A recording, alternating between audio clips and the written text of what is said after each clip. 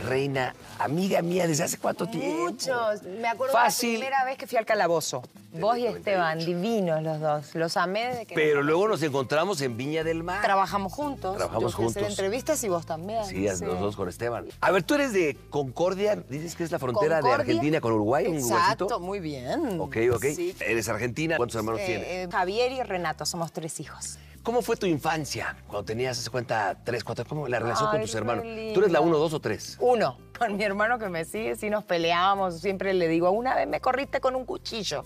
No, pero igual era re linda, más abuelos, vivíamos en la casa de los abuelos, desde los cuatro años iba a danza, los fines de semana, yo soy de un, de un hogar de clase media trabajadora, papá era viajante, vendía café y especies, mamá eh, maestra de escuela. Los fines de semana íbamos a pescar con papá y fue la etapa más linda de mi vida. Fui muy feliz. Ahora, Lorena Meritano era una persona cuando yo la conocí, cuando en esa época donde nos veíamos más seguido. unos chavitos. Muy divertida, muy eh, preciosa, encantadora, accesible, simpática, sencilla. Tenías muchas cualidades, cosas muy padres. Gracias. Te dejé de ver.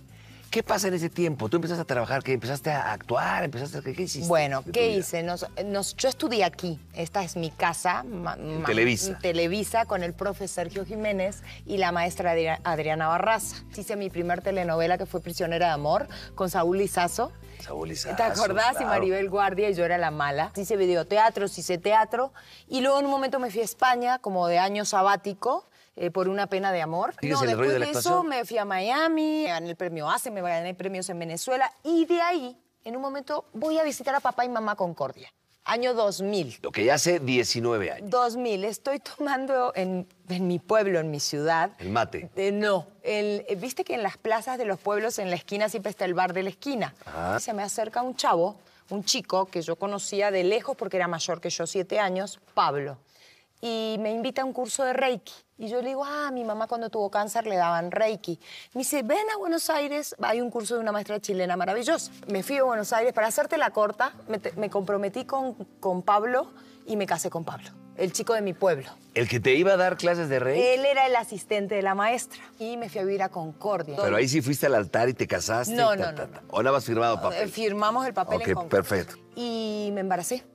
Y perdí mi bebé, fue un embarazo ectópico, extrauterino. La única vez en mi vida que estuve embarazada.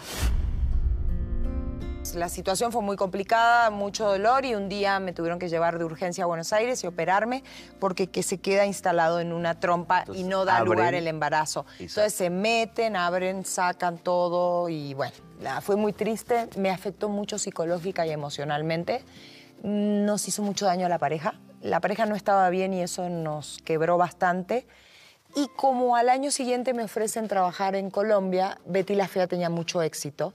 eh, y van a hacer para Univisión la serie de Betty la Fea que se llamaba De Comoda. Yo estaba casada, viviendo en el campo, estudiando psicología social, retirada. Me fui a Colombia y ya avanzadito la serie me separé y me quedé sola en Colombia trabajando. Yo estaba sentada al lado de él y me miró y yo le dije, te quiero mucho.